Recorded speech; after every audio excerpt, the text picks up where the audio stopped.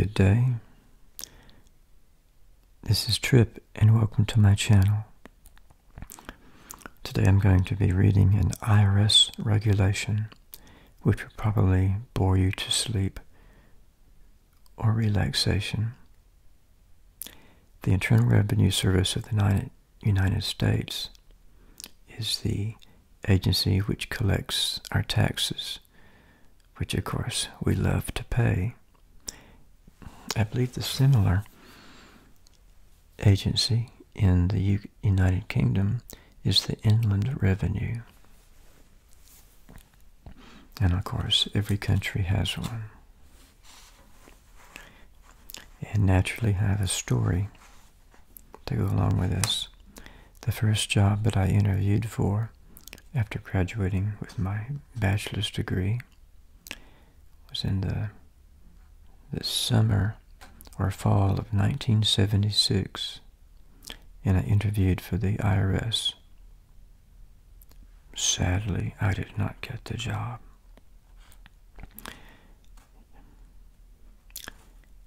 Maybe someday I'll do a video about rejection, and how to deal with it.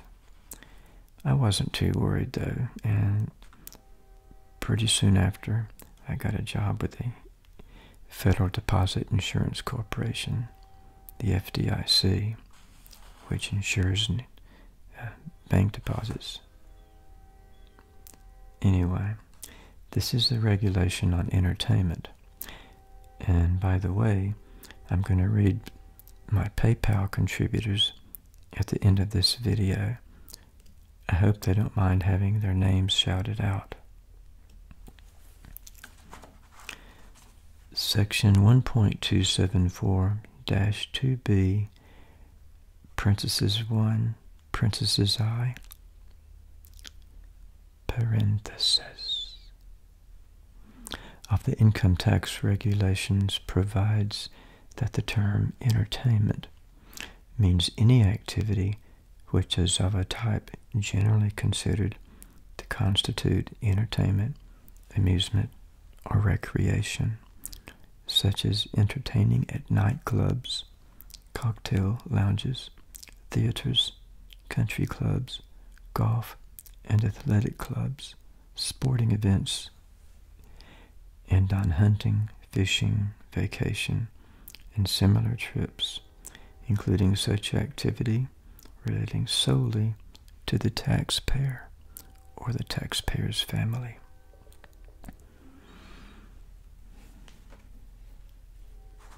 The term entertainment does not include activities which, although satisfying personal, living, or family needs of an individual, are clearly not regarded as constituting entertainment, such as a supper money provided by an employer to an employee working overtime, b a hotel room maintained by an employer for lodging of employees while in business travel status, or C, an automobile used in the active conduct of trade or business, even though also used for personal purposes such as commuting to and from work. On the other hand, the providing of a hotel room or an automobile by an employer to an employee who is on vacation would constitute entertainment of the employee.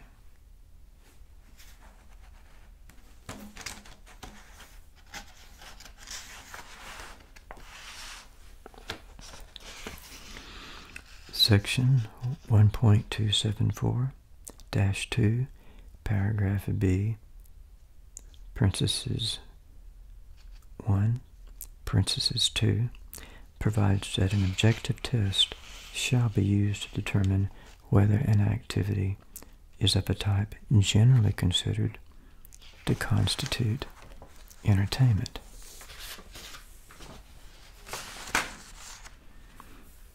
Thus, if an activity is generally considered to be entertainment, it will constitute entertainment for purposes of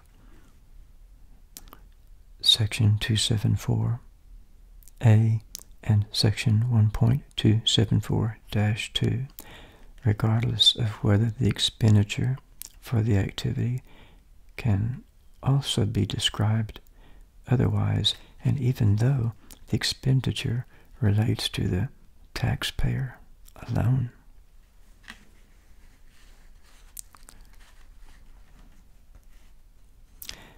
Thus, attending a theatrical performance would generally be considered entertainment if it would it would not be considered entertainment for a professional theater critic attending in a professional capacity. Similarly, if a manufacturer of dresses conducts a fashion show to introduce its products to a group of store buyers, the show generally would not be considered to constitute entertainment.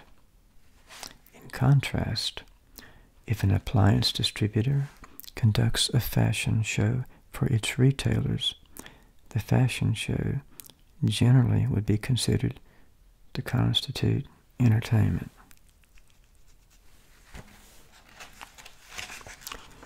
I'm going to have to skip ahead with some of this. Some of it is too boring and sleep inducing for me to cover it all. Taxpayers may deduct 50% of an otherwise allowable business meal expense if the expense is an ordinary and necessary expense under Section 162A, paid or incurred during the taxable year in carrying out any trade or business. Two, the expense is not lavish or extravagant. Three, the taxpayer or an employee of the taxpayer is present at the furnishing of the food or beverages. Four, the food and beverages provided to a current or potential business customer, client, consultant, or similar business contact. And five, in the case of food and beverages provided during or at an entertainment activity, the food and beverages are purchased separately from the entertainment, or the cost of the food and beverages is stated separately from the cost of the entertainment on one or more bills, invoices, or receipts. Examples.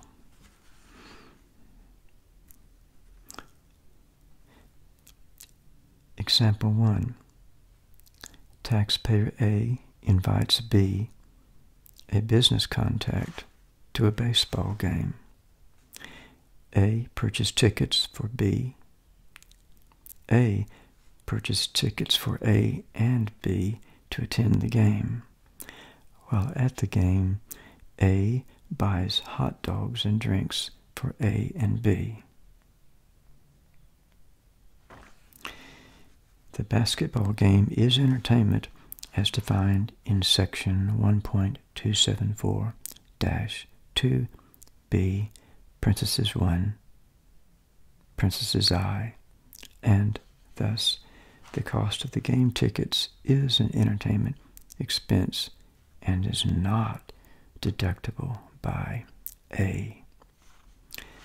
The cost of the hot dogs and drinks, which are purchased separately from the game tickets, is not an entertainment expense and is not subject to the section 274 A parenthesis 1 disallowance. Therefore, A may deduct 50% of the expenses associated with the hot dogs and drinks purchased at the game. Example 2. Taxpayer C invites D, a business contact, to a basketball game. C. Purchase tickets for C. And D. To attend the game in a suite where they have access to food and beverages. The cost of the basketball game and tickets, as stated on the invoice, includes the food and beverages.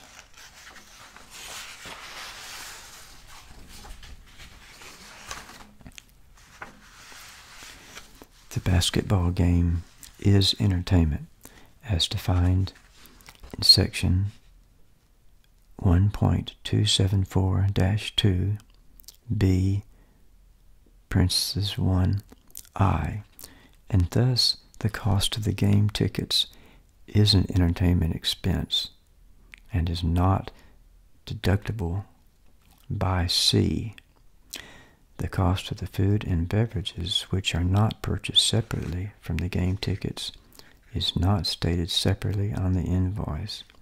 Thus, the cost of the food and beverages also is an entertainment expense that is subject to the Section 274A1 disallowance. Therefore, C may not deduct any expenses associated with the basketball game.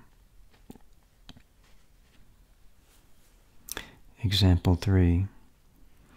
Assume the same facts as in example 2, except that the invoice for the basketball game tickets separately states the cost of the food and beverages.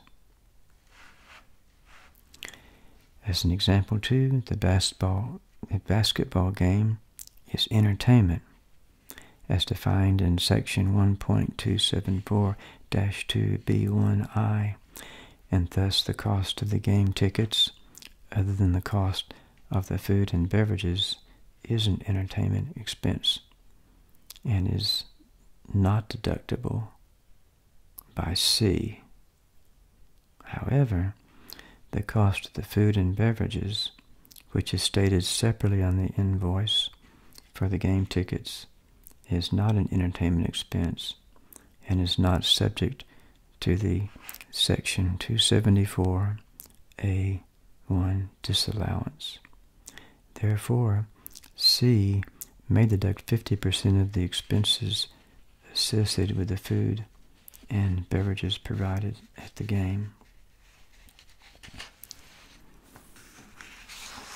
I think the point of this was that if you're going to try to charge off your entertainment expense, you need to break things out separately on the invoice, the cost of the entertainment from the food and the beverages. Of course, I was half asleep when I read this. That's as far as I'm going to go, lest I fall over asleep in the middle of this. I promise to note the PayPal contributors, or donators, Michael Kalinda,